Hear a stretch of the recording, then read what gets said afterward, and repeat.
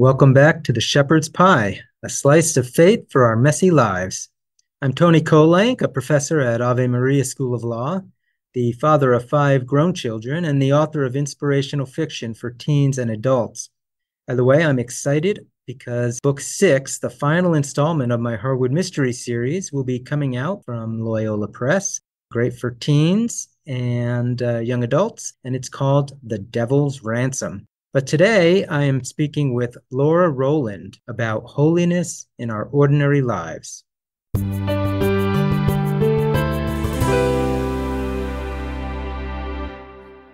My guest today is Laura Roland. She is a Catholic motivation coach, a speaker, writer, and retreat leader.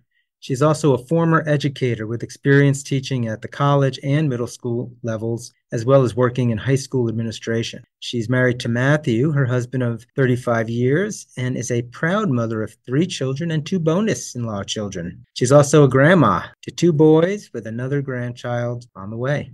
She does coaching, and you can check out her website, laurarolandcoaching.com. Laura, welcome to the Shepherd's Pie.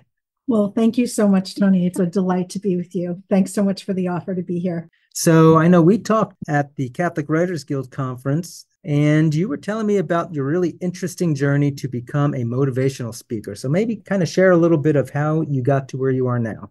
Well, I found myself one day in Sydney, Australia, and I was on stage in front of 250 women. And as I took the stage, my first thought was, I, I don't even know how I got here. I really, I looked around and I just thought, this is the craziest thing I've ever done.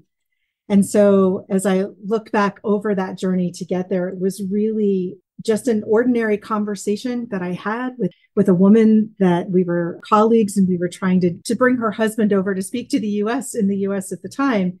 And as our hearts got shared and Holy Spirit entered into the conversation. She invited me to speak at her National Catholic Women's Conference. I had never spoken before to anybody other than my children, uh, maybe my classroom of kids, um, but there was some sort of stirring and longing um, in her heart and my heart.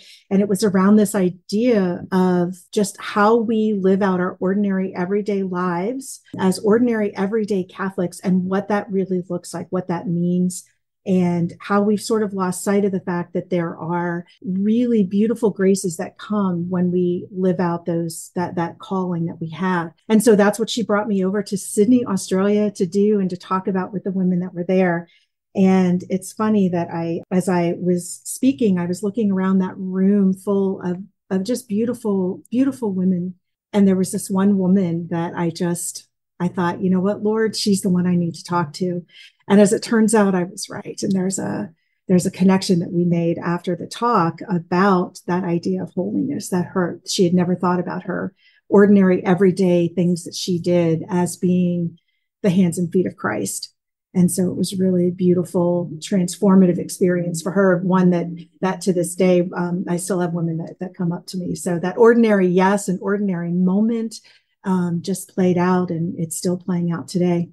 So how did you come upon this idea that what you wanted to focus on in your speaking life is this idea of the power of the ordinary or just living ordinary lives? Uh, what's the story behind that my husband and I were blessed to have three children in three and a half years. We were busy. We were super busy at the time. And I remember, you know, as all, uh, you know, moms and dads are in the throes of just the toddlerhood and babyhood of, you know, you're always tired. There's never enough hands. There's, you know, there's never a, a diaper within sight that you can reach that you're not, your arms are full, right? And I remember one day I was just exhausted and we were sitting on the floor and, you know, I was folding, trying to fold laundry and, and uh, take care of, of an infant and the toddlers are running around. And I, I just looked around and I thought, really, Lord, this really, this is it that like, this is all you've created me for like the next diaper the next sock that i need to chase down and the next meal that i need to make and I, you know, when I was a young girl, I had plans and dreams and hopes. And yeah, I wanted to be a mom, but I don't think I ever really fully understood what that meant. And so I just was sitting there on that floor and I just, I just couldn't believe that that was all my life was going to be. And, you know, you get through that moment, you get through it with, with prayer and you get through it through beautiful people that pour into you. I called my mom and she's like, just take a breath. You know, the next step, you just love that person in front of you. That's what you're called to do in this season. And that was the first time I'd really heard the idea of seasons, like never really thought about that. And, and in the throes of motherhood and, and, and that season of motherhood, you feel like it's never going to end. And you sort of can lose your sense of plan and purpose because the world tells you that that's not enough the world tells you that you have to be, you know, super prolific in your knowledge of the faith if you're going to be able to talk about the faith and or you have to be beautiful and glamorous and and you know to have a microphone and to be able to change the world with your you know with your story or your actions or whatever. And nobody ever talks about how maybe you might change the world with loving that person in front of you. So it was really a little bit of hindsight, a lot of life lived, you know, out loud kind of thing. And you gain that wisdom and you gain that insight. And and I remember just thinking, like, I did a lot in my ordinary life. Like my life may not be glamorous by the world standards, but I have, have a husband who loves me and I have three amazing children. And now we've got two bonus kids, you know, in-law kids, and we've got grandbabies on the way. And it's very blessed. And I just keep thinking, like, maybe by the world standards, it's not something, but I think God's pretty pleased. And I think he's pleased because in those moments, those difficult moments, I, I did what he called me to do. And that was to be his hands and feet. That was to minister to that person, to love that person right in front of me. So that's what I talk about when I talk about the power of ordinary. That's what I mean. It's in those ordinary moments that we're called to live out our own unique call to, to holiness. No, that's a beautiful story. I, I, I get it, especially moms with little kids and what you were going through. What I'm wondering is as you okay, so your kids grew up, you're moving on with other things in your life. What about for the folks who have gotten past that season and now their ordinary life isn't raising their kids anymore? Um, as you've sort of grown in your own life, has that changed your view of you know what is the ordinary? I've had the beautiful privilege of actually sitting at the feet of women who have gone before me and who have lived life in their you know they're in their late 60s 70s 80s i actually there was a woman in an audience of, of women that i spoke to last summer and she was 90 years old and so listening to them tell their stories of what their life is like, you know, children are out of the house and and maybe their careers are done and they've they've retired. And so for them, their what they call just doing life has been things like they take an elderly parent to the doctor. They take up their grandchildren and take them and they fill in the gaps when parents have to work or when you know where maybe there's not a parent around. They are bringing food to their neighbor who is they know is having a rough go of it. So they're doing those ordinary everyday things that i look back and i was just like wow that's pretty amazing. How do you have the energy? How are you doing all of this? And they're like it's how we do life. It's community. It's and and the 90 year old said well i just loved that person in front of me. That's what god's called me to do. And to her it was ordinary and it was an everyday thing. But i looked at it and i was like that's pretty extraordinary. But that's not a word that she wanted to use. She said extraordinary is for fancy people.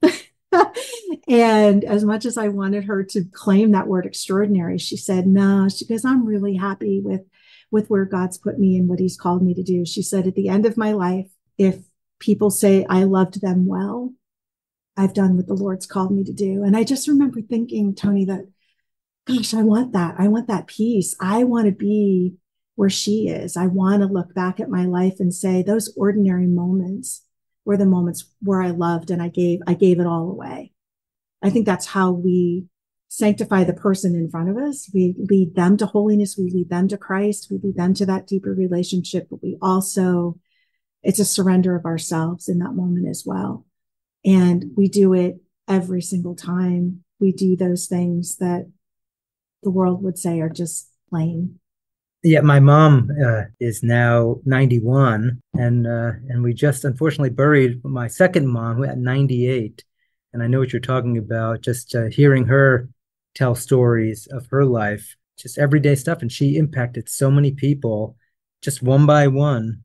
Kids. She ran a daycare actually. Her name was Ruth Brown, and she ran a daycare, a nursery school. And at 98 years old, she still had kids who were in her nursery school who were coming in her life because she made such an impact on them. So I, I hear what you're saying about that one-on-one, you know, person by person, ordinary impact. But let me rewind you back to your um, you're sitting on the floor with three kids. You're saying I had all these dreams, and what I hear you saying now is one-on-one, love the person in front of you. So what what about those people who are saying what you were saying at the time, which is hey, I have all, all these dreams for myself. I want to do all these big things. Are they not supposed to do big things? Or, or how do you reconcile all that? My own experience with this is the idea that at the moment of our conception, each one of us was sealed with particular plan and purpose. There's something that only you can bring to the world in your own unique way. There's something that only I can bring to the world in our own unique way. And there will be a time and a season when all of that can unfold. And the good news is, is that when we're in the throes of, I'll use myself as an example, when I'm in the throes of toddlers and babies and all that kind of stuff, right? I'm thinking about what's this next season of my life going to be? So for me, when my kids were in school, I was able to go back to school and a dream of mine had been to become a reading educator. And so I did that. And so even though that despair was hitting me when the, you know, when I had all those littles with me, God assured me that there was a plan and a purpose for my life. And I had to stay close to him. I had to stay close to that promise. Psalm 139. Anybody that is uh, really wondering if they have they've lost that sense of themselves. They're lost in in this identity crisis of i don't know where i fit. I don't know who i am.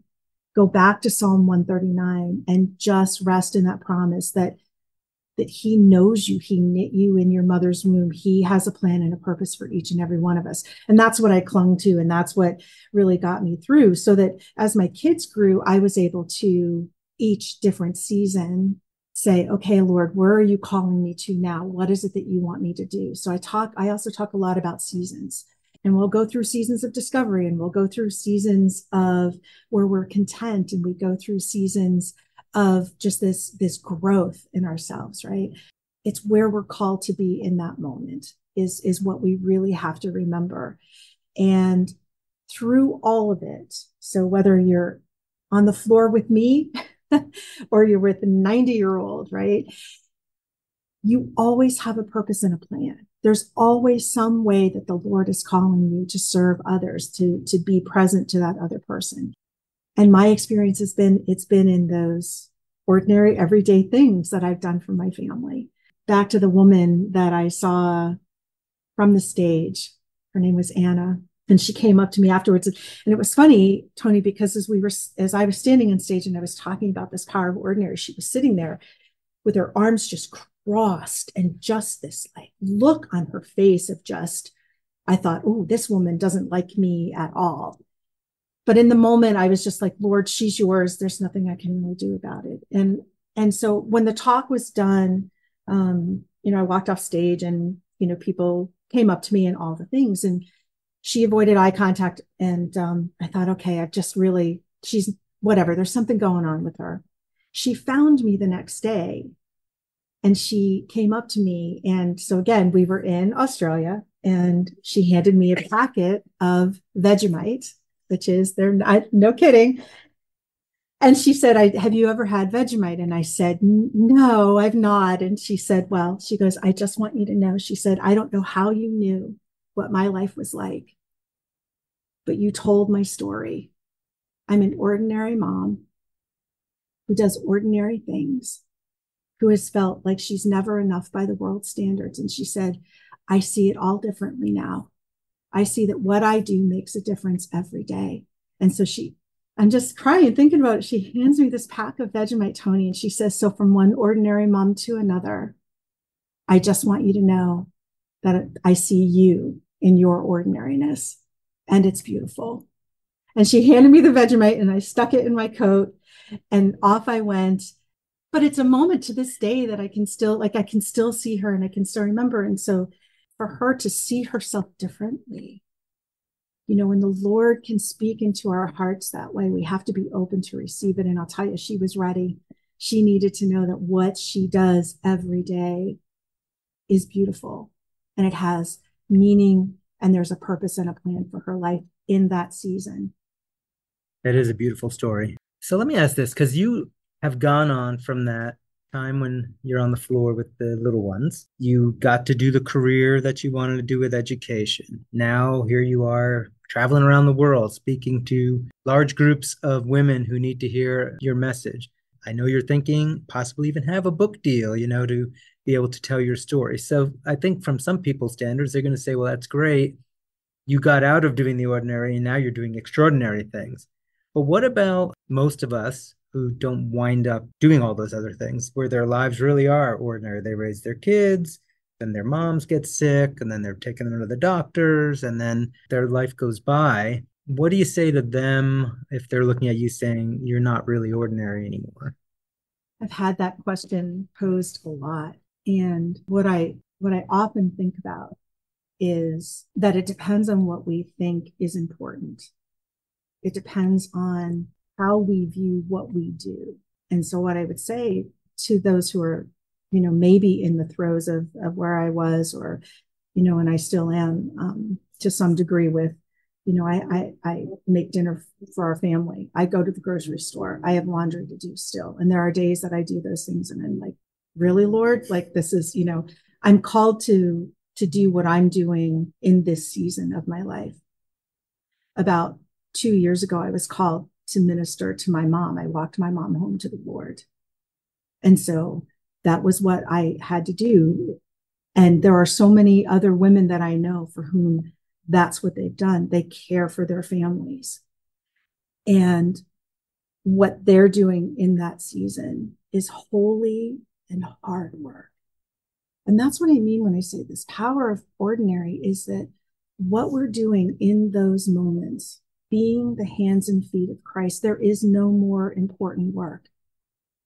There isn't. It, it's what we're called to do. And, and we don't have time to waste worrying about what the world thinks about this. We have people in front of us who need us to love them in that moment. There is beauty in that when you're rocking those babies in the middle of the night, when you're driving that carpool, when you are stretching that food budget until you don't even know if you're going to make it till Friday, till payday, and you figure out a way to do it. When you are, you know, taking your elderly parent to the doctor, and then you've got to take your youngest to the pediatrician, and you're sandwiched in the middle. That is the hard and holy work that the Lord has left the ordinary people of the world to do. And there is beauty and there is sanctity in that because it's coming from a pure place of love. And he's left that heavy lifting to us. And when we do those things day in and day out, right? It's our, that is our plan. That is the plan. The Lord has created each one of us. He's gifted each one of us in that unique way. And so I would just, I just really encourage anybody that's in the throes of that to just remember that's not what the world thinks of what you do. It's what the Lord's called you to do in this moment. And there is no greater work. There's no greater mission than you can have. As hard as it is, and as mundane as you might think it is, there's no greater work that you can be doing than loving that person in front of you. Let me ask you one more thing about this idea of the power of the ordinary. And I want to focus on the word power, um, because that might surprise people to hear power paired with ordinary and I think you've probably touched on this already in your remarks, but I'm wondering why choose the word power when you're describing it, and what does that power really look like? What makes it so powerful?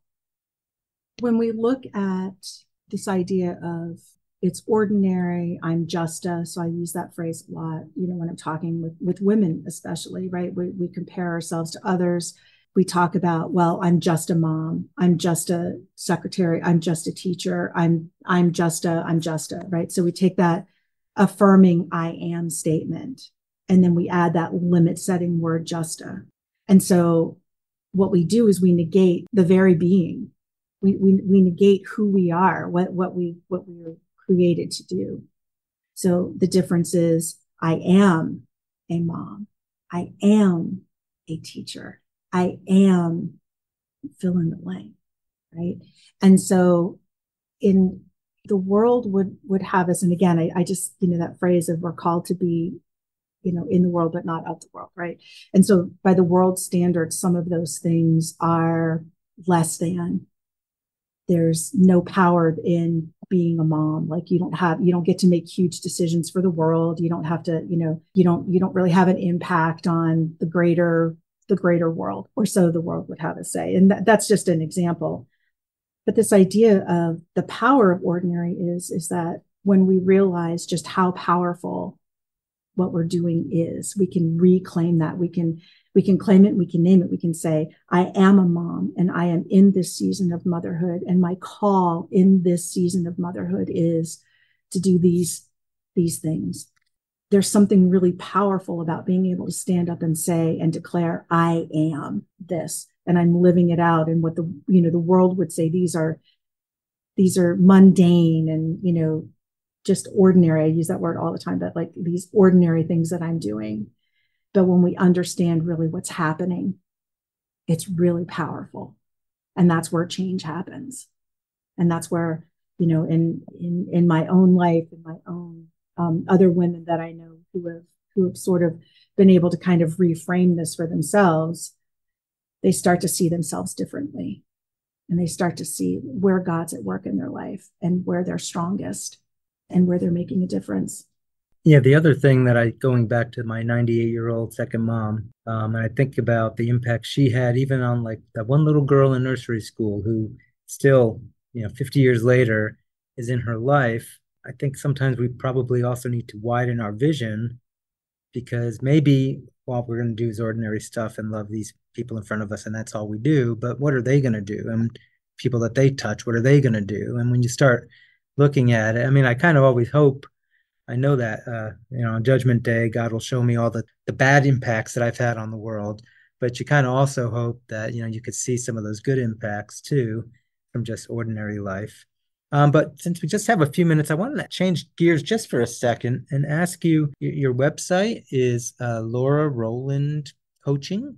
And so, can you talk a little bit? What what is it that you are talking about with coaching, and and maybe speak to that for a minute or two? I am a certified Catholic motivation code coach, and so I use the motivation code assessment, which looks at uh, your 32 motivators by virtue of the fact that we are human. We have 32 motivators, and uh, the motivation code looks at all of the motivators in a ranked order. And what's very unique about the motivation code that I use is that we start with your story. And so it's a narrative based assessment. And so it is your stories of fulfillment. And then you are mm-hmm. asked questions about your experience with that story. So we really get at who you are at your core.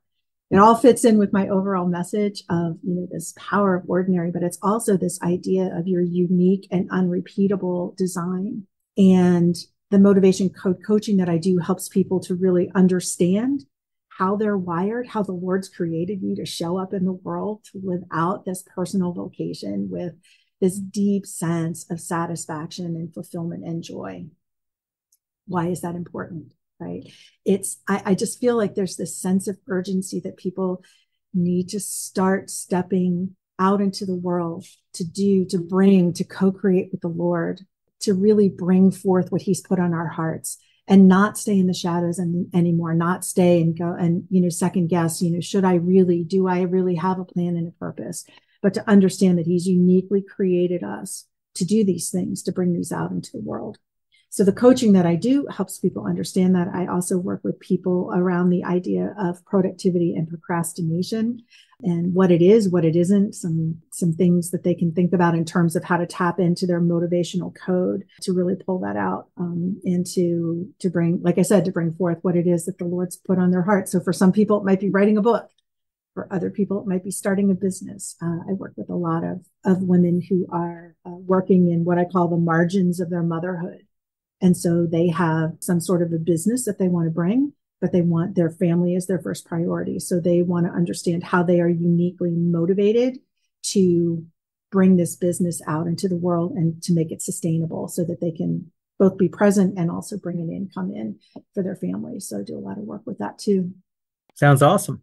So if folks want to either check out, hey, what is this coaching about and how can I get involved? Or Maybe they want you to come talk to their parish or their school teachers or anybody else that you might want to talk to about the power of ordinary. Where would you want them to go to find all that information? So the first place is my website, which is laurarolandcoaching.com. And then I also hang out a lot on Instagram. That is my place. Um, so that is Laura Roland dot this woman's journey and this woman's journey is also the name of my blog so they can find me there too. But uh, I can just go back and forth between Instagram or, or find me on my website and you can contact me there for sure. Well, Laura, it's been wonderful having you talk about this. You've definitely moved me with even just some of the stories that you're relaying about people in their ordinary lives. And I, am sure that you've touched a lot of people. It's been great having you on the show. Thank you so much, Tony. I appreciate the time today and God bless you with your ministry here. Thank you so much. Uh, unfortunately, that is all the time we have for the show today. Uh, we've been speaking with Laura Roland about the power of the ordinary. And uh, again, this is Antony Barone Kolenc. If you want me to come speak to your school or homeschool group or just want to learn more about my books, check out my website, antonykolenc.com. Until next time, may God bless us as we rely on our faith to work through the messy challenges of our lives.